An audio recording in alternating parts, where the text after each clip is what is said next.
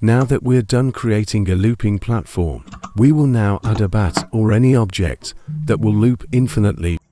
First get your sprite of any object. Mine is a bat, but it can be anything. We also need to change type to animated sprite. Then add the animation to the animated sprite node. Position it however you want. Now in the animation node check playing.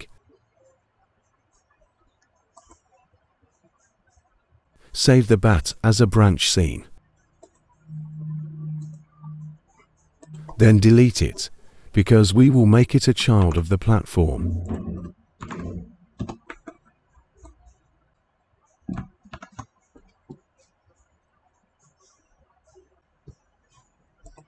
We need to make it a child of the tile node so that it will loop together with platform. Now if you want to randomize its position in there or its position, you need to add this few line of code.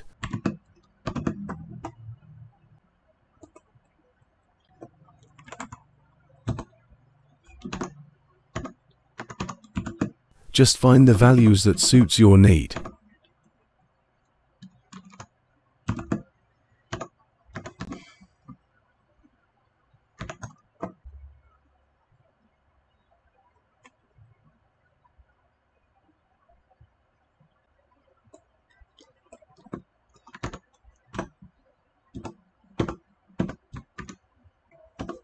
Now if you want to also randomize its x position just add these one line of code.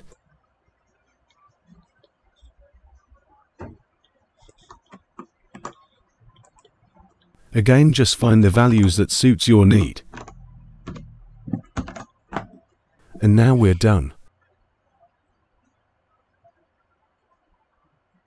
Make sure to like and subscribe for the upcoming Godot tutorials. Thanks.